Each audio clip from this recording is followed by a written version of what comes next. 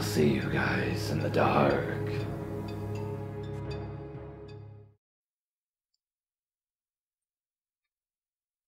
From about the age of 20 to 23, I used to spend like one or more nights in town drinking and doing what young adults do, which in my case was failing to seduce anyone but winning at pool and quiz machines. When I first started going out, at about 18 and up, I would go to many different bars and clubs throughout the night with all of my old school friends. But over the next few years, as I went away to uni, I ended up befriending locals, and I started hanging around in this one bar with this group of friends I made. This group was about 15 people, a mix of guys and girls between the ages of 18 to 25. We were the main crowd in this one bar. Everyone who came in frequently would get to know our group and either hung around hoping to join us or keep clear of us. I was really enjoying myself, and I started going out more often to meet my friends in this bar. I was drinking a lot and started earlier in the day. I grew out of this stage of my life eventually. So, anyway, this one girl that wasn't really part of this social group, but was on the fringes, started being really friendly with me, hugging me when she saw me, following me outside if I wanted to smoke, usual stuff. It's not like she was the only person who did this, but over time, it started to become a big problem. See, at first, I thought she was just friendly, I couldn't just see her in a romantic light because she wasn't my type. And so I just didn't consider that that she was attractive to me. So when she was friendly, I would be friendly back. This, I guess, was my mistake. I thought I was just being a nice guy. I don't want to be mean now, but I kind of have to explain her a little bit. You might describe her as obese. She was fat, very. Not the sort of on the chubby side, not the middle aged, losing her figure type of fat. She was the round, bouncy. First thing you notice about her is that she is fat. Kind of fat. And she smelled bad, too. I don't know if that is related to the weight thing, but it meant that having her in my personal space was not enjoyable. But I put up with it multiple times a week because I didn't know what to do. She was nice to me, so I didn't want to upset her. But the smell was so bad. Oh, and she was my age. Anyway, after I had known her a few months and became accustomed to her just always being around me, I started to notice some territorial behaviors. So, for example, if I was talking to a girl I liked, then she would often come over and make that dialogue a trialogue, you know, and she started getting kind of girl friendly with me. She would get super upset by bits of banter and like drama cry outside, or she would start crying about her personal stuff and other girls would come up to me and tell me how upset she was, and that I should go and check on her. I'm going to call her Gurry. So I would go to talk to her and say, like, hey, don't get upset. What's up? And she would instantly be fine and hugging me and stuff. And like, ugh. So as this developed, I started getting tired of having to stop what I was doing to go and see if Gurry was okay. I stopped she would send naive girls to go and ask me to check on her, and I would just tell them I didn't care what Gurry was going and doing, and it had nothing to do with me, and the girls would tend to agree. You would think problem solved, right? Somehow she got my number, so I would be at home and I would get texts asking me to come to the bar, or I would get personal texts like, I'm upset with you because of last night. Sometimes I would engage in conversation with a rather confused attitude and other times I would just ignore it. Pretty soon, it got to the point where she would be in the bar every time I got there, or she wouldn't be there, and I would be relieved. But she must have convinced a few people to notify her if I was in there, because she would turn up not long after I got there. I would be dreading the moment the door opened, and she would say hello to everyone in the bar, slowly, but deliberately making her way to me. So I decided I needed to distance myself from her because I was feeling a tad pursued, but at the same time, I didn't want to stop seeing my friends, some of whom I was uh, actually interested in, and some of them were into me too. But this Gurry girl's drama was really making it difficult. So I started just casually walking away from her. If I was heading outside to smoke and saw her follow me, I would squeeze into a position that meant she couldn't stand next to me, or I would pace back and forth so that she couldn't get too close to me for more than a second.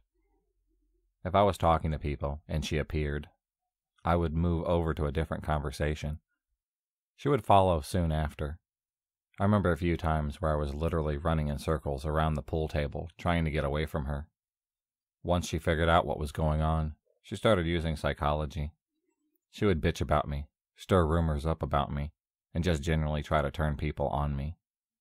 On the occasions that I would be talking to the same people that she was, the conversation would quickly become about me. She would know about everything I had said to people. Any drama that involved me, she would know about. And it seemed like anyone who had reason to be upset with me, or had some past issue with me, was being interrogated for information. I don't know what to do about it, so I just went back to being friendly with her. It was better to have her as a stalker than to have her as an enemy. I figured she would get tired of this. She didn't, but something better happened playing pool with this guy one day. He was a friendly, suck up, nervous, skinny, spotted kind of guy.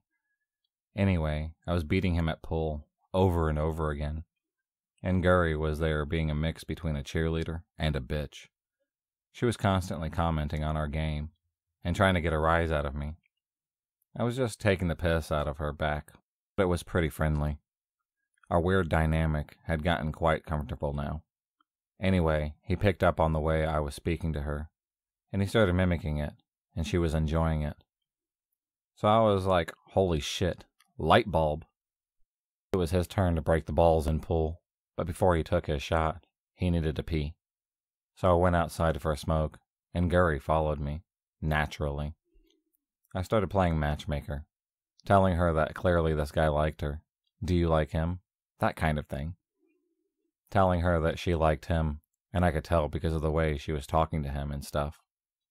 I don't know if she liked him immediately, or if she thought it was making me jealous, but either way, she started getting way more obvious with her flirting with him, and me, which was fucking gross, but I held it together.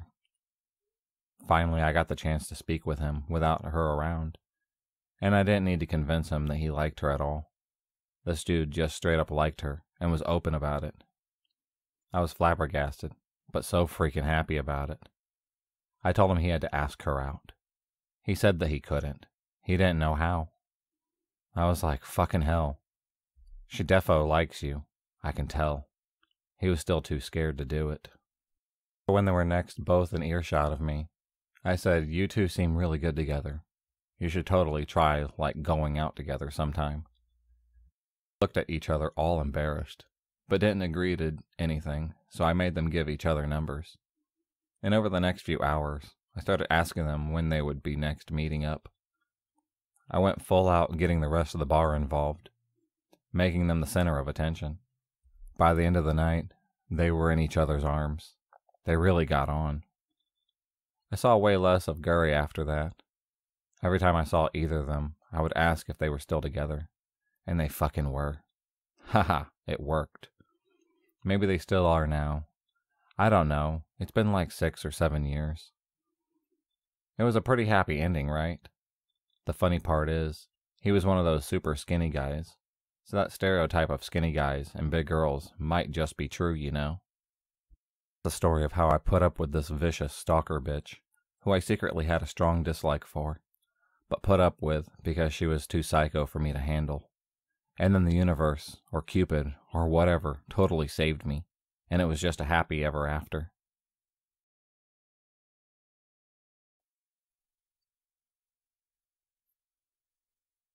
I live in a house that is huge and beautiful, but there's one problem. I'm often home alone, and our house has giant windows. I'm a 23 year old girl that's going to college nearby, and I live at home in order to afford school. My mom and stepdad have much more of a fun night life than I do, so they often go out of town. We live on a lake in a nice private lake neighborhood that's supposed to be monitored, but it often isn't due to lazy patrolmen. I have no self defense because I'm so small. In a neighboring town, we have another house, and I used to live in it. We bought it so that I might have lived close to my college, as it is three streets away from it. I had a stalker there that would leave gifts, footprints by the window, and letters. I know who she was. She had been a classmate at my college that was not accepting, that I had no interest in dating girls. I filed a police report, and we have been called a few times because she has been seen entering our backyard, even though we haven't been back to that house in a while. I definitely know that gut feeling when I'm being watched. I'm back at our main house due to that experience, and have been here a few months now. It's 40 minutes away from our other house, and it's extremely difficult to find. We live on a road impossible to find on GPS, and only my closest friends have been out here to visit. Two weeks ago, I called the cops. I had been home alone sitting upstairs, and I saw a figure in our yard, and then heard doorknobs being rattled downstairs shortly after. After the cops showed up 45 minutes later from getting lost, they found no one and assumed it was someone attempting to break in. Whoever it was definitely saw me because our windows are huge and located everywhere, and I sat right beside three windows that are 15 feet by 13 foot. This house was custom built for my mom and stepdad. We have giant windows everywhere, including all of the bedrooms. Some of our windows are so big because they previously had belonged to an old church at 17 foot high. Even my room has four large windows that luckily fit blinds, but most of our windows are too large for blinds or for curtains. Basically, everyone can see into our house, whether they are in the front yard, backyard, in their boat, etc. It doesn't matter. They can definitely see into a big portion of the house. And the house itself is huge, there are eight doors that I constantly check to make sure they are locked. I have two dogs, one of them being an English bulldog. A week ago, I got home and found a framed art print of a bulldog with saran wrap wrapped around it. No note and no context to it, so we have no idea who left it. I'm an artist, and I often share pictures of my bulldog, so I feel it's aimed towards me. We asked all of our friends, family, and even neighbors Nobody knows who left it. Tonight, I finished some assignments and immediately laid down in bed. After about 20 minutes, I heard knocks on my window. My dog was in the hallway and started barking as soon as it happened. After laying down for 10 minutes frozen in fear, I got up to try to see if there was someone or something out there lurking in the dark. There wasn't, from what I could tell. This all happened tonight, and I'm still laying here scared. The cops take too long to get out here and would probably get lost again. And my anxiety is so high, I guess from my past experiences. I've called my older brother and messaged friends to let them know what's going on. All eight doors are locked. I just triple checked them. I honestly don't know why I wrote this out. It sounds silly writing it, but the feeling of being watched is just so scary.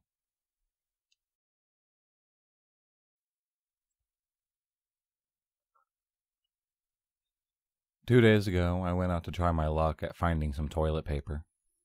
The local shop is only a five minute walk from my house, but it takes me past a dodgy pub, bottle shop, tab, and then an underpass that goes under the train line. It was about 3 p.m. and was a sunny day.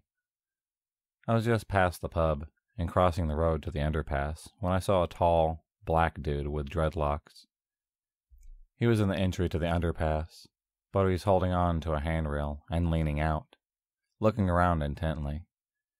He looked in my direction and then back into the tunnel part.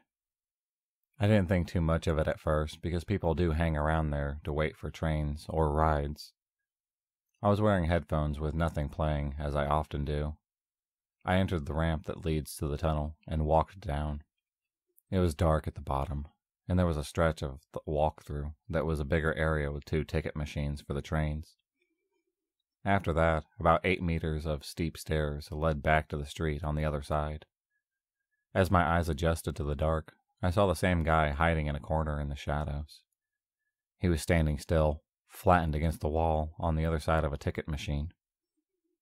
Just then, a couple started heading down the stairs towards us. They were out of his view at that point. He said, what? At me and started walking towards me really fast. I decided to buy some time and de escalate, so I pulled my headphones out as if I hadn't heard him. and while continuing to power walk the stairs, he said, Sorry, what was that? I have headphones in, and literally smiled at him, pretending I wasn't freaking out. A couple passed me, and I was about to reach the stairs when the dude also reached me. He was so tall and big, and I am about five foot tall. He said, What, are you scared of me? I just wanted to ask you for a smoke. I said I don't have any, and he kept coming closer and closer and trying to cut me off from exiting by just positioning his body. Then he looked behind him to see if the other couple were out of view yet, and yep, they were gone. The gesture of checking that we were alone was what made me panic. He started reaching his hand towards me. It was only about 30 centimeters away. I gasped. And as I gasped, I started full on choking and coughing on a bit of spit. The guy jumped back instantly and started backing away from me. I kept coughing and choking up the stairs as he started yelling out, Do you have a virus? Do you have it? I yelled that I didn't, and he actually started laughing at me. He was gone by the time I had to come back. It was a really scary situation that ended up giving me a giggle. If you enjoyed this video, please subscribe, like, and hit the bell for notifications on future videos and become a stalker of the night. And I'll see you next time.